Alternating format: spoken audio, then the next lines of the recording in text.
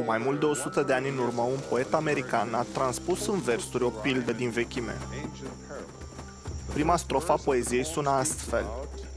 Șase bărbați din Indostan, care educați erau, s-au dus să vadă elefantul, deși niciunul nu vedea, pentru că ei voiau să-și lumineze mintea.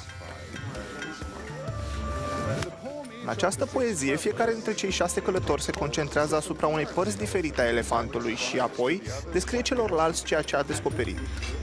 Unul dintre ei atinge piciorul elefantului și îl descrie ca fiind rotund și aspru, ca un copac. Altul atinge colții și descrie elefantul ca fiind o suliță. Al treilea îl apucă de coadă și insistă că un elefant este ca o frânghie.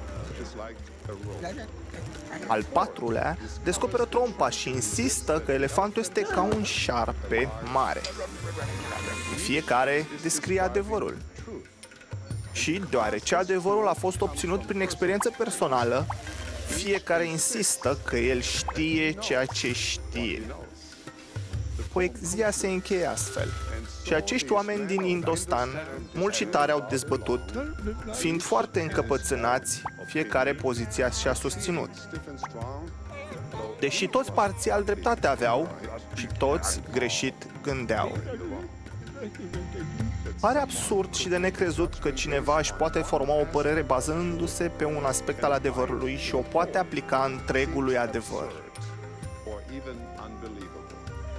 Pe de altă parte, ne-am făcut noi vreodată vinovați de același mod de gândire? Avem multe exemple de lucruri pe care lumea le-a cunoscut odată ca fiind adevărate, dar care s-au dovedit ulterior a fi false.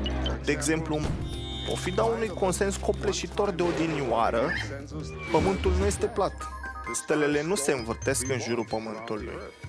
Și, desigur, omul poate în prezent zbura. Chiar poate depăși bariera sunetului. Deseori adevărul este respins deoarece nu pare a fi consecvent cu experiențele precedente.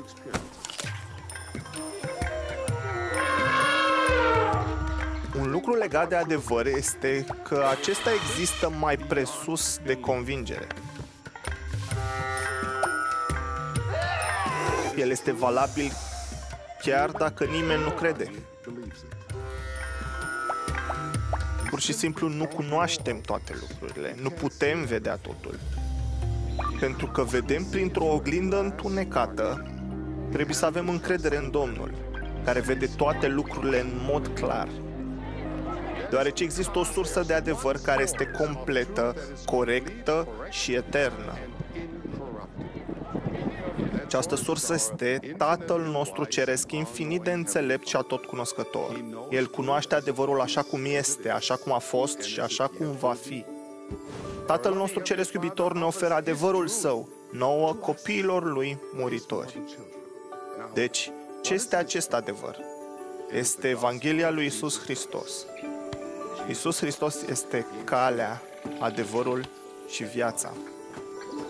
Când acceptați responsabilitatea de a căuta adevărul cu mintea deschisă și cu inima umilă, veți deveni mai toleranți față de ceilalți, mai dispus să ascultați, mai pregătiți să înțelegeți, mai înclinați să clădiți decât să distrugeți. Și veți fi mai dorniți să mergeți unde dorește Domnul să mergeți.